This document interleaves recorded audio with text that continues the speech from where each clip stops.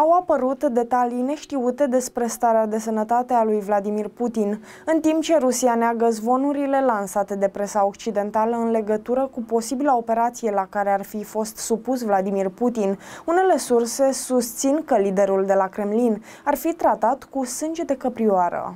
Zvonurile despre boala lui Vladimir Putin sunt descrise în Rusia drept speranțele dușmanilor săi. Versiunea oficială a rușilor este că toate știrile despre bolile lui Vladimir Putin nu sunt adevărate. Un astfel de zvon este că Vladimir Putin va fi supus unei operații iminente de vindecare a cancerului, iar pentru asta medici, asistente și o sală de operație ar fi fost pregătite într-o locație secretă. În plus, canalele Telegram raportează și diverse detalii despre boala lui Vladimir Putin, arătând că intervenția extrem de delicată ar putea fi făcută peste noapte și în miezul nopții pentru a nu trezi suspiciuni. În sprijinul zvonurilor despre cancer sau despre leucemie există interpretări făcute de jurnaliștii de investigație, care au comparat mișcările liderului de la Kremlin cu cele ale cunoscuților profesioniști din domeniul sănătății din Rusia. Astfel, în zeci de cazuri s-ar fi demonstrat prezența hematologilor și a neurochirurgilor în